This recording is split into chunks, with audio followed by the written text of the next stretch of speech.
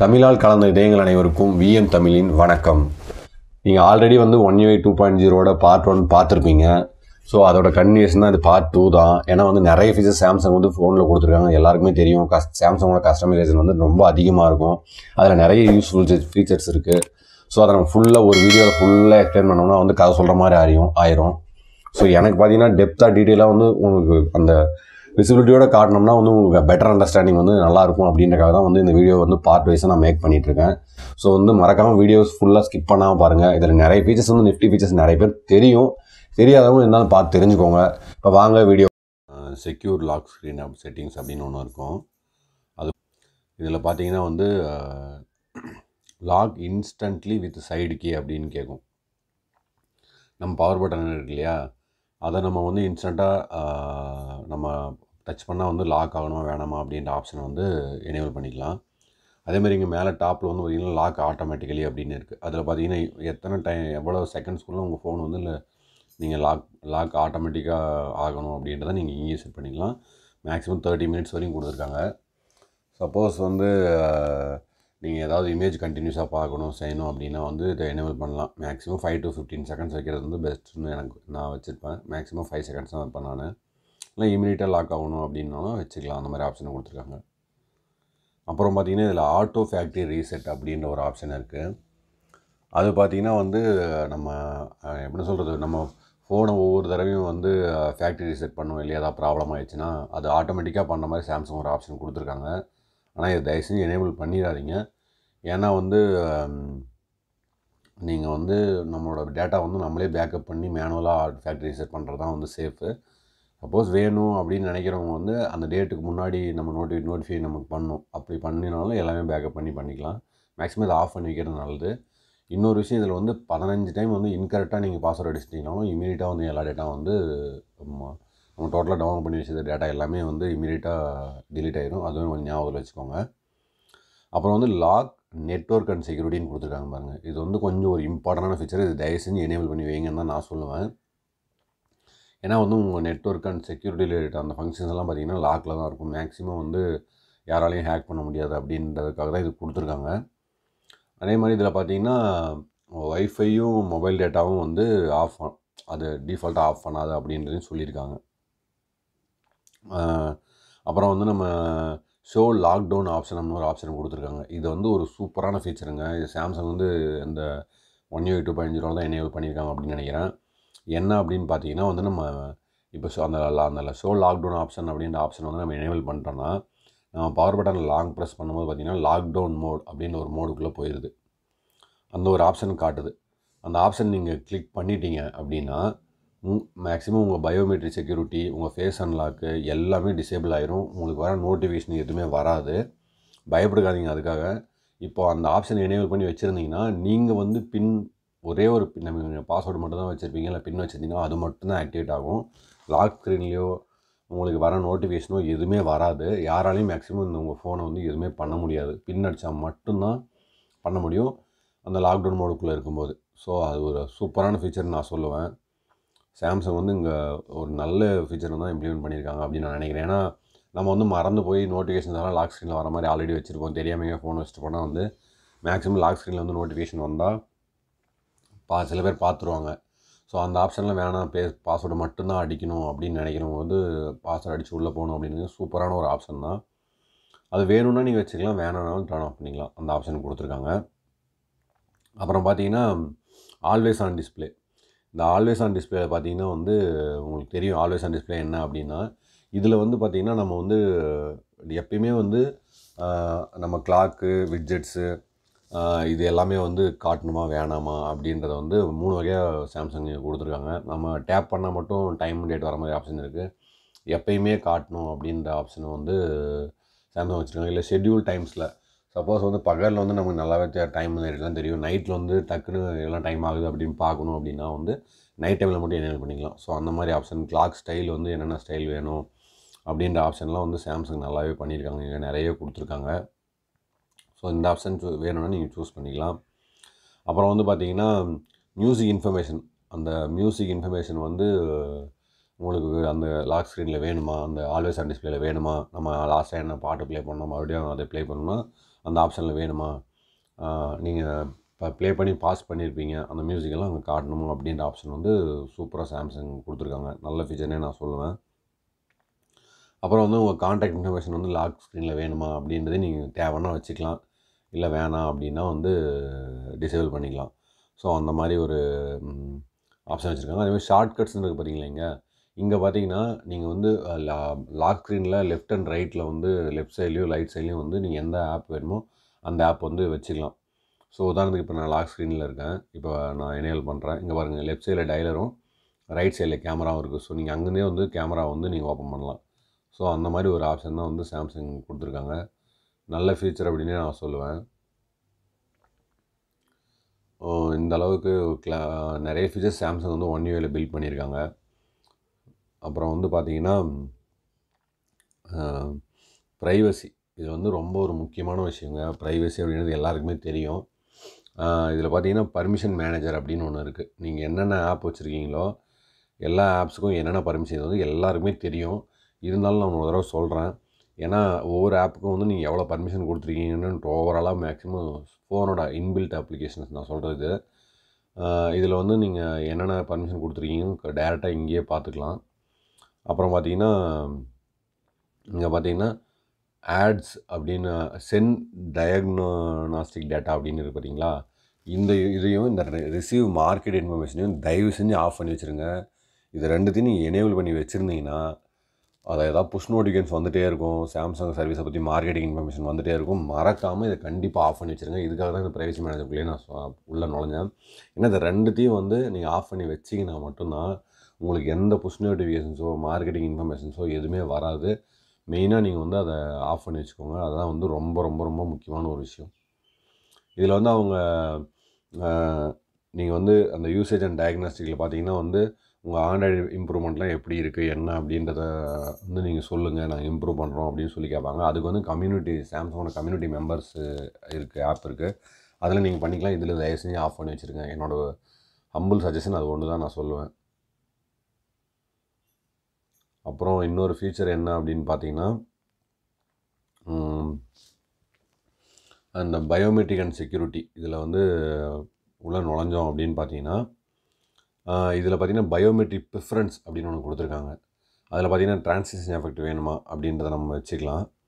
அப்புறம் வந்து other security செட்டிங்ஸ்குள்ளே போனீங்கன்னா இங்கே ஒரு முக்கியமான ஒரு விஷயம் இதை சொல்லணுன்ட்டு இருந்தேன். மேக் பாஸ்வேர்டு விசிபிள்னு கொடுத்துருக்காங்க பார்த்தீங்களா? இந்த ஃபீச்சரை வந்து தயவு செஞ்சு ஆஃப் பண்ணி வச்சுருங்க. ஏன்னா இப்போ பார்த்தீங்கன்னா டை நம்ம வந்து இப்போ லாக் ஸ்க்ரீனில் பாஸ்வேர்டு அடிக்கும்போது வந்து பார்த்தீங்கன்னா அப்படியே தெரியும். உங்களுக்கு இப்போ பார்த்தீங்கன்னா நான் அடிக்கும்போது டாட் தான் வந்தது. ஸோ அந்த மாதிரி வந்து இதை ஆஃப் பண்ணி வச்சுருந்தீங்கன்னா நீங்கள் என்ன பாஸ்வேர்டு அடிக்கிறீங்க? அப்படின்றது மேக்ஸிமம் விசிபிளாக யாருக்கும் தெரியறதுக்கு வாய்ப்பு இல்லை இது வந்து ஒரு யூஸ்ஃபுல்லான ஃபீச்சர் நான் சொல்லுவேன். அப்புறம் வந்து பின் விண்டோஸ் அப்படின்னு கொடுத்துருக்காங்க பார்த்தீங்களா இதை வந்து நீங்கள் தேவைன்னா ஆன் பண்ணி வச்சுக்கலாம் தேவையில்லைன்னா ஆஃப் பண்ணி வச்சுக்கலாம். என்ன அப்படின்னு பார்த்தீங்கன்னா இப்போ நம்ம உதாரணத்து ஒரு ஆப் ஓப்பன் பண்ணுறேன் டைலரே ஓப்பன் பண்ணுறேன் இந்த ஆப் வந்து நான் மினிமைஸ் பண்ணும்போது பார்த்தீங்கன்னா இங்கே டாப்பில் இங்கே அந்த அந்த அந்த பொசிஷனில் இருக்கும்போது இந்த ஆப்போட டாப்பில் கிளிக் பண்ணிங்கன்னா அந்த ஆப் ஐக்கான் மேலே கிளிக் பண்ணிங்கன்னா இதில் பார்த்தீங்கன்னா lock this app pin this app இருக்குது பார்த்தீங்களா இந்த ஆப்பை பின் பண்ணிட்டீங்க அப்படின்னா அது அதே இடத்துல அந்த ஆப்லேருந்து வெளியே வர முடியாது. இப்போ நான் பின் பண்ணிடுறேங்க பாருங்கள் இப்போ பேக் போனாலும் பேக் வர முடியல. என்னவே பண்ண முடியல. அதுக்கு வந்து நம்ம இந்த ரீசன்ட் கீஸை வந்து பேக் பட்டனையும் ரீசன்ட் கீஸையும் வந்து லாங் ப்ரெஸ் அப்படி பண்ணோம்னா நமக்கு வந்து பின் பண்ணுறது ஈஸியாகிடும் அன்பின் நம்ம ஈஸியாக பண்ணிக்கலாம். இது வந்து பார்த்திங்கன்னா ஜஸ்டர் மோடில் இருக்கும்போது யூஸ் பண்ண முடியாது. அது டிசேபிள் ஆகிரும் இந்த மாதிரி விர்ச்சுவலாக நீங்கள் பட்டன்ஸ் யூஸ் பண்ணிங்கன்னா வந்து இந்த பின் விண்டோஸ் வந்து நீங்கள் வச்சுக்கலாம். தேவைன்னா வச்சுக்கலாம். தேவையில்லை அப்படின்னாலும் இது பண்ணலாம். ஏன்னா யாருக்காவது நீங்கள் சப்போஸ் குழந்தைங்க கையில் ஃபோனு அவங்க கேட்குறாங்க ஏதாவது நீங்கள் சும்மா அவங்களோட ஏதோ வீடியோ போட்டு காட்டுறீங்க அப்படின்னாலும் இந்த ஃபீச்சரை வந்து நம்ம ஆன் பண்ணி கொடுக்குறது பெட்ரு ஸோ அது ஒன்று அப்புறம் பார்த்தீங்கன்னா வந்து இந்த பயோமெட்ரிக் செக்யூ அண்ட் செக்யூரிட்டிஸ்லேயே வந்து இன்னொரு ஃபீச்சர் நான் சொல்லணும் அப்படின்ட்டு இருந்தேன் இதில் பார்த்தீங்கன்னா இன்ஸ்டால் அன்னோன் ஆப்ஸ் அப்படின்னு இருக்கு பார்த்தீங்களா? அதில் பார்த்தீங்கன்னா ரீசெட் ஆப் ப்ரிஃபரன்ஸ்னு ஒன்று இருக்கு பாருங்கள் இது பார்த்தீங்கன்னா அந்த நாங்கள் நீங்கள் ஃபஸ்ட்டு வந்து உங்களோட நீங்கள் வந்து என்னென்னா நிறையா ஆப்ஸ்க்கு வந்து ப்ரிஃபரன்ஸு டேட்டாஸ் எல்லாம் வந்து டிஃபால்ட்டாக வந்து இந்த ப்ரௌசர் வந்து க்ரோமில் தான் வச்சுருப்போம் அப்படின்னு சொல்லிட்டு நிறையா இது பண்ணியிருப்பீங்க டிஃபால்ட் ஆப்ஸ் நிறைய வச்சுருப்பீங்க. ப்ரௌசரையோ இல்லை இதையோ மாற்றணும் அப்படி அந்த மாதிரி ஆப்ஷன் வந்து நிறைய நீங்கள் ஆல்ரெடி கொடுத்து வச்சுருப்பீங்க. இதை ரீசெட் கொடுத்தீங்கன்னா ஃபோன் நம்ம வாங்கும்போது வந்து டிஃபால்ட்டாக ஒரு இது வந்துச்சு பார்த்தீங்களா அது அதோட இப்போ நம்ம வந்து இப்போ க்ரோம் யூஸ் பண்ணியிருக்க மாட்டோம். அதுக்கு உண்டான சாம்சங் ப்ரௌசருக்கே அது போகும்.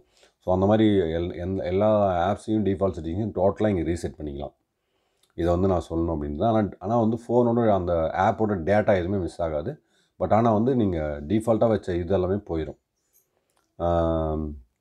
நோட்டிஃபிகேஷன் வந்து சில ஆப்புக்கு வந்து வராமல் இந்த ஆப் வரக்கூடாது இந்த ஆப்னு வச்சுருப்பீங்க. ஸோ இது எல்லாமே டோட்டலாக நீங்கள் மாற்றணும் அப்படின்னு நினச்சி இந்த ஆப்ஷன் யூஸ் பண்ணிக்கலாம். இல்லை ஆல்ரெடி இது வேணாம் அப்படின்னு நினச்சிங்கன்னா நீங்கள் விட்டுறலாம். எந்த பிரச்சனையுமே இல்லை.